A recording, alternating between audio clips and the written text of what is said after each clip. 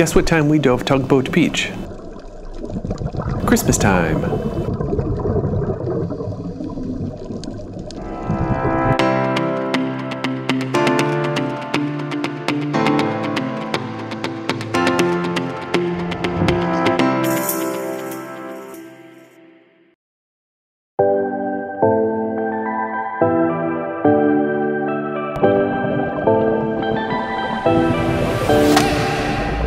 Moment we completed our first dive here, I couldn't wait to put this video together. From the biodiversity on the tugboat itself, to the drop-off just 50 feet away, to the even more dramatic pier supports that dwarf everything else underwater, this is the best Caribbean dive site we've seen so far. Hands down. It has schools, lots of anemone, quite a few scorpion fish, and perhaps a few other things that you don't see on the average dive. The area above the water is also unique, with its small but beautiful beach flanked on the left by sheer rocky cliffs and on the right by a large working ship dock.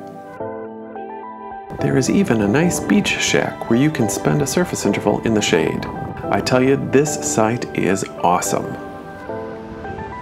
If you want to dive Tugboat Beach and the pier, the next nine minutes are just for you. But before we get to the site logistics, you can help us grow. For free! If you don't already, consider subscribing to the TropicLens channel. How about giving this video a like? If you have a minute or so, send us a comment. This is our fifth shore diving video. What do you think? Is there a diver in your life that might be interested in diving Tugboat Beach? You could share this with them. The bottom line is we are trying to grow the channel and your participation and interaction really do help. Thanks. Smiley face.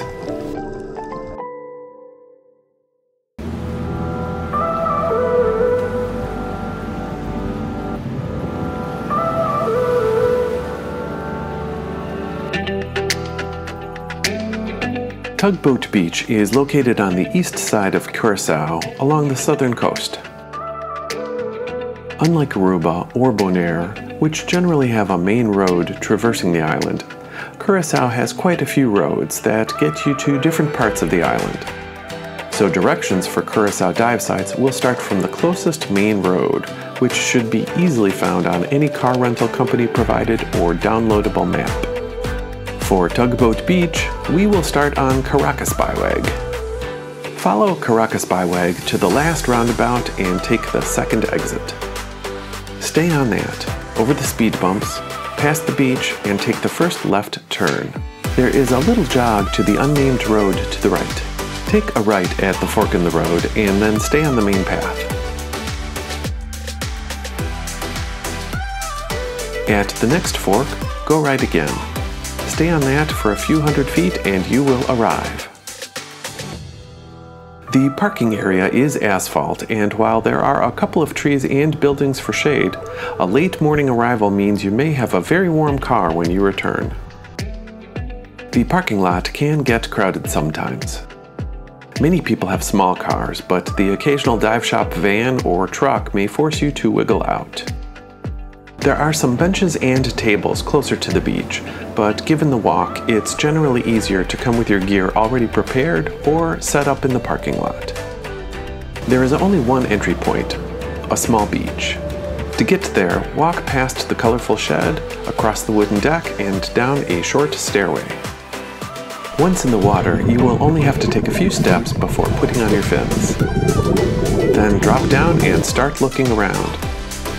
There is plenty to see right from the start.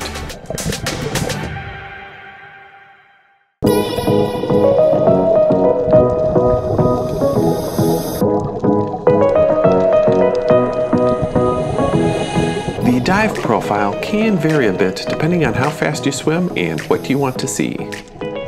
There are shallows, the tugboat wreck, a drop-off or wall, a ledge, and a very large pier. You start and end in the shallows, which have a ton of interesting life. We saw squid on a couple of occasions. Loads of anemone, parrotfish, goatfish, and more. Follow the shallows to the left and you will reach the tugboat. Sitting in just 15 feet of water, it is full of life. Beyond the tugboat, the shallows give way to a drop-off, starting at about 20 feet. Here's a bit of what it looks like at various depths.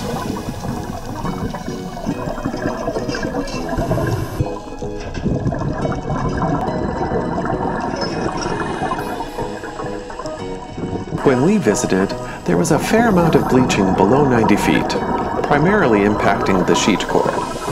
This is likely temporary and you may not see this when you visit. At the edge of the shallows, between the tugboat and the pier, is a small ledge or step. Sitting at 40 feet, it creates a little mini wall up to the shallows on one side and a larger, steeper wall to explore on the other. There are a couple of no diving near vessel signs on the pier. Our local guide said this is meant as protection for the boats and divers, as large vessels can be moving overhead. We were fortunate when we visited as this ship was docked for months getting repairs, so it wouldn't be moving for a while. If you get the opportunity, grab a local guide and swim through. The sheer size of the chains, ropes, and pier columns is just amazing. To be sure, it can all be seen in one dive, but if you have watched more than a few of our videos, it won't come as a surprise that we suggest going slow, and consider breaking it into a two-tank dive.